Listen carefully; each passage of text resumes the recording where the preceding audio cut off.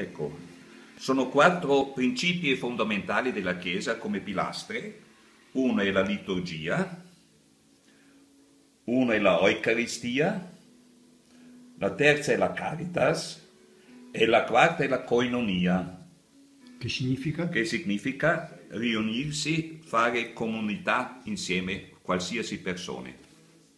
Importantissimo questo. Eh. Grazie Silvio.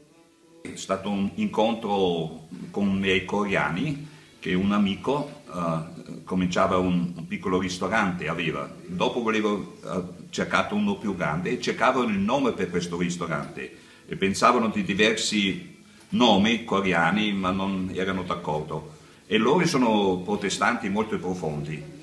E a me mi ha chiesto, ma tu magari hai un'idea per, per il nostro ristorante? Io ho detto, è come voi siete protestanti, che avete la comunità dei cristiani, e il nome è un po' significante anche, anche così, chiamatele Koinonia.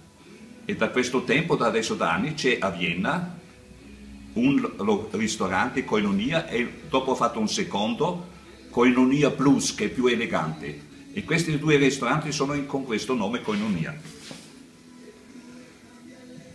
È bello, no? Bellissimo.